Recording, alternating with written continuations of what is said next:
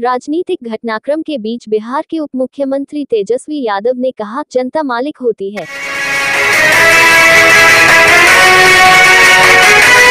खबर को विस्तार से जानने से पहले एक आग्रह, यदि आप चैनल पर पहली बार आए हो तो कृपया चैनल को सब्सक्राइब कर लें तथा बेल आइकन दबा लें। वीडियो अच्छा लगे तो लाइक करें तथा इसे अपने दोस्तों के साथ शेयर करें। शहर और गाँव की खास खबर तथा प्रेरक कथाओं के लिए देखते रहिए अपना मंथन। बिहार के उप मुख्यमंत्री तेजस्वी यादव ने बिहार में राजनीतिक घटनाक्रम के बीच सीधे तौर पर कहा कि जनता मालिक होती है। पटना ज़िले के मसौली के ऐतिहासिक गांधी मैदान में पचहत्तरवा गणतंत्र दिवस के मौके पर झंडोत्तोलन किया। झंडोत्तोलन के पूर्व उन्होंने गांधी जी की प्रतिमा पर माल्यार्पण किया। उसके बाद परेड की सलामी ली। झंडोत्तोलन के बाद मंच पर न जाकर गांधी जी की प्रतिमा के समीप से ही संक्षिप्त भाषण दिया और कहा कि जनतंत्र में जनता ही मालिक होती है। उन्होंने कहा कि देश का अगर कोई दुश्मन है तो वह बेरोजगारी, बिहार में युवाओं को रोज़गार मिला है और आगे भी करते रहेंगे। संक्षिप्त भाषण के बाद तेजस्वी मीडिया से बगैर बात किए पटना के लिए रवाना हो गए। तेजस्वी के चेहरे पर तनाव साफ़ नज़र आ रहा था। आए वीडियो फुटेज के ज़रिए उप मुख्यमंत्री ने अपने संक्षिप्त भाषण में क्या कुछ कहा? डालते हैं एक नज़र। आज के मानना है, अगर किताब अगर कोई है तो संविधान का पवित्र किताब और कोई नहीं हो सकता हम सब लोग आज के दिन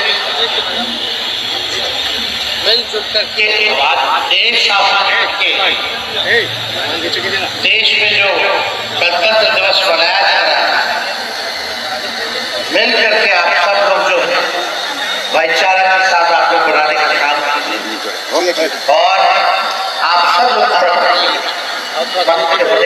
हैं हमारे तो आज मसौली के इस गांधी मैदान में यहाँ पर के हर्ष और खुशी है कि आप इतना मान और सम्मान देने का और जो दायित्व और जिम्मेवारी आप लोगों ने दिया है, मैं कहना चाहूँगा कि इस बेरोजगारी से हम लोग निभाने का हम पहले भी कहते थे, अभी भी कहते हैं कि सबसे बड़ा अगर कोई दुश्मन है, अभी भी कहते हैं कि सबसे बड़ा अगर कोई दुश्मन है तो बेरोजगारी ही सबसे बड़ा दुश्मन है।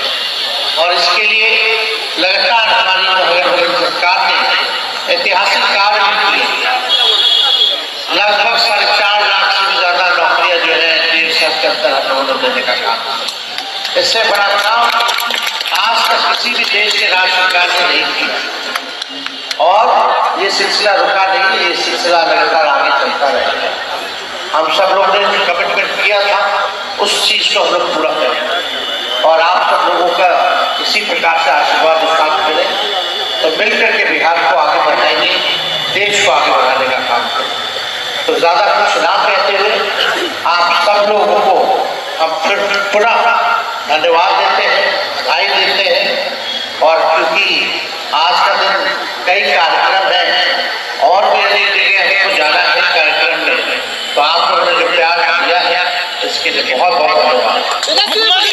और गाँव की खास खबरों के लिए कृपया चैनल को लाइक एंड सब्सक्राइब करना ना भूलें।